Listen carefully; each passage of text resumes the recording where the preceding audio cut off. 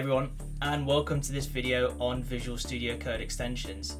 Today we're going to be looking at 12 killer extensions that I use in my front-end workflow and I would highly recommend that you use in your Visual Studio setup.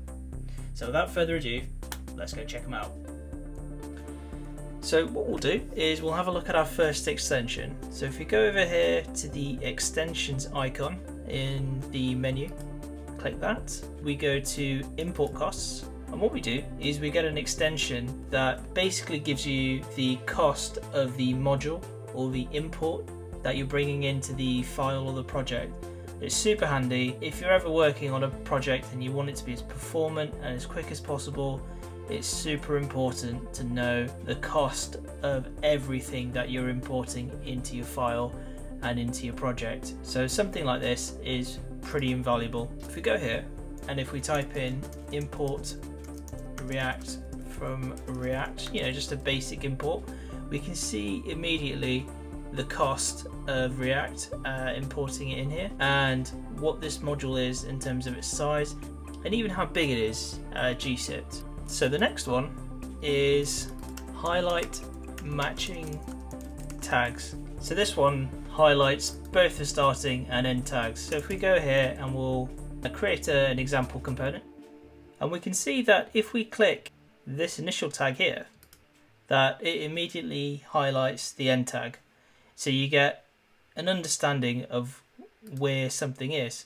So if we were to suddenly just nest this, and then we click div, highlights the end, the span, highlights the end, and H2. Fantastic. Super useful when you're doing some quick troubleshooting and you're just trying to find out where the end tag is. Now, another really important one is the bracket pair colorizer.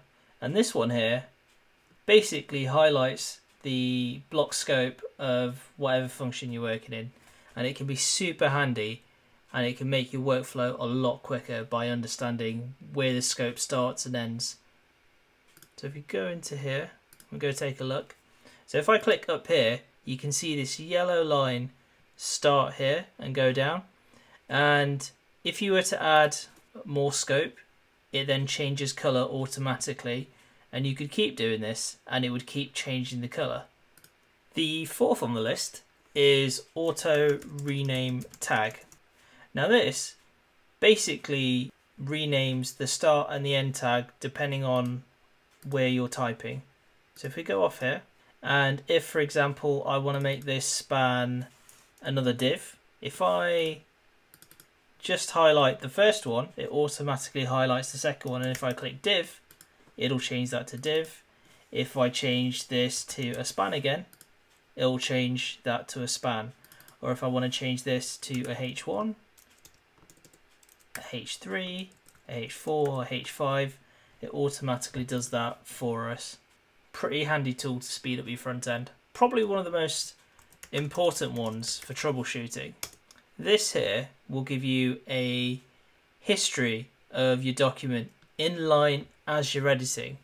So if I was, for example, editing this code, I won't see anything because this is a new file. But if we go into the project and we click something that's been edited before and we scroll down and we'll just click this area here, you can see that it gives us an idea of some of the work that's been done, the commit hash, all the details surrounding that, even the time, etc. It is a valuable tool.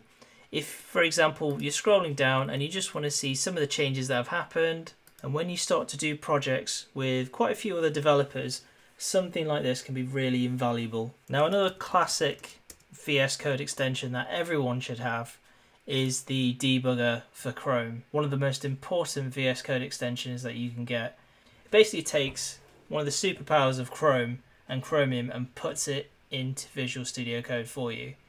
And this is a great debugging tool and you can use it in the terminal window below. VS Code icons. This is usually one of the first ones you install onto uh, VS Code. What this does is this gives you some wonderful icons for your entire project. So a TypeScript file will come up with a TypeScript icon, uh, a Git file will come up with a Git icon. Aesthetically, it does transform your VS Code experience quite a bit and it is something I would recommend as a first extension install. Another super important one is Git Lens and this is one that you can already see is super popular. Now Git Lens is what basically superpowers your version control in VS Code, like toggling uh, your git blame. So you can basically see all the time logs and all the commits line by line in a visualization there. You can also see uh, your git history and you can see it in a lovely uh, git flow there. And you get all the hashes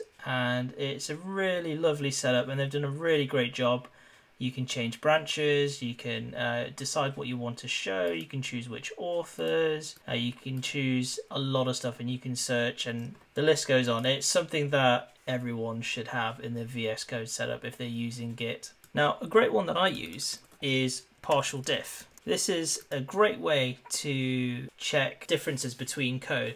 It's something that VS Code doesn't do by default, but adding this gives you that functionality. So if you can see here, you can basically compare two bits of code and find out the differences. It's something that IDEs like uh, PHP Storm do really well. If I was to take this, if I was to copy that and then compare it, so if I was to copy this and if I was to compare it against uh, a very similar function just down here. If I go to compare text with keyboard, and it tells you basically what the differences between the code are. A really valuable tool, and again, it's plugging a gap that Visual Studio Code doesn't have. One that I would highly recommend if you are coming from PHP Storm or WebStorm. A fun one that I like to use is the emoji snippets. Now the reason I use this is because emoji snippets acts a bit like if you use Slack you're able to add emojis in a way you're writing it in Slack. So if I was to go here and if I was to type in rocket and I get the rocket emoji, it's pretty quick, pretty simple. It feels familiar, whereas not every other emoji extension on VS Code does that. Now you might be thinking, what is the point of having emojis in your code anyway? Well,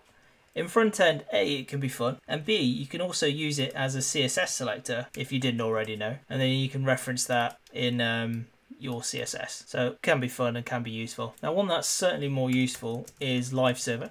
So what Live Server is really good at is if you want to just spin up a quick project, just test some HTML, uh, test some JavaScript against it or something like that, all you do is you create the file and you click the icon in the bottom right here, go live, and you're away. And you can start browsing the work in the browser and check it immediately. A very, very handy tool. And it's a tool that I use nearly every other day for projects that I'm doing on the side. Now the last, and certainly no means least, extension on this list is the reload extension.